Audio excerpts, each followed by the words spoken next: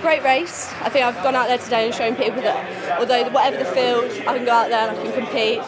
I'm very disappointed with the time. I think maybe if I wasn't in lane eight and I was a little bit more in the rumble of the race, not just out there on my own, I think it was there.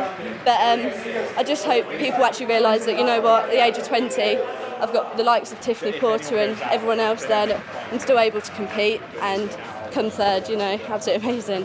So what kind of form do you think you're in at the moment? I think I'm in great form, and I think I actually have got under. I think I have got sub eight in me.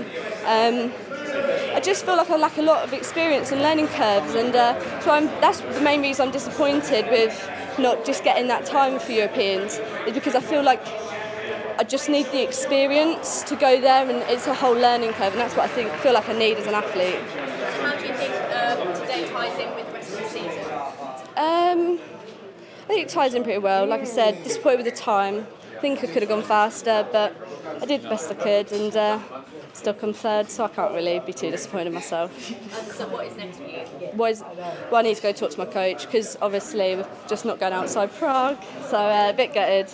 But I think probably just focus on outdoor now and uh, under 23s, go be the champion of that.